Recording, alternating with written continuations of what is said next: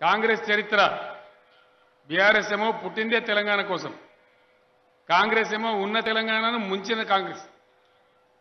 ఉన్న తెలంగాణను ఊడగొట్టిందే కాంగ్రెస్. మన తెలంగాణ మనకే ఉండే. దాన్ని జబర్దస్తిగా కొంచెమై తెలంగాణ ప్రజల ఇష్టానికి వ్యతిరేకంగా ఆంధ్రలో కలిపి యాభై ఎనిమిది ఏళ్ళు ఏడిపించింది మన యాభై ఎనిమిది ఏళ్ళు. అరవై తొమ్మిదిలో ఉద్యోగం వస్తే పిట్టలం కాల్చినట్టు నాలుగు వందల మందిని కాల్చిపారేసింది సరే అప్పుడు ఉద్యమం ఫెయిల్ అయింది.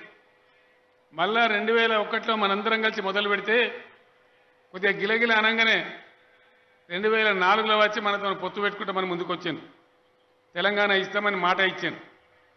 మరి రెండు వేల నాలుగులో మన పొత్తు వల్ల వాళ్ళకి ఇక్కడ అధికారం వచ్చింది? ఢిల్లీలో అధికారం వచ్చింది. మరి రెండు వేల ఐదులోనో రెండు వేల ఆరులో ఇయ్యాలగా తెలంగాణ? ఇయ్యలే. మళ్ళా దోకా చేసింది.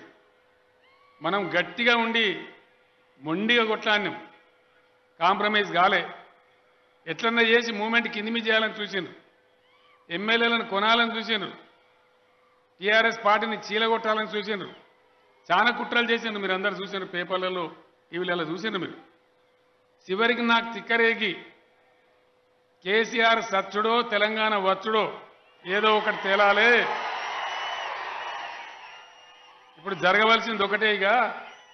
కేసీఆర్ శవయాత్రనా తెలంగాణ జైత్రయాత్రనా?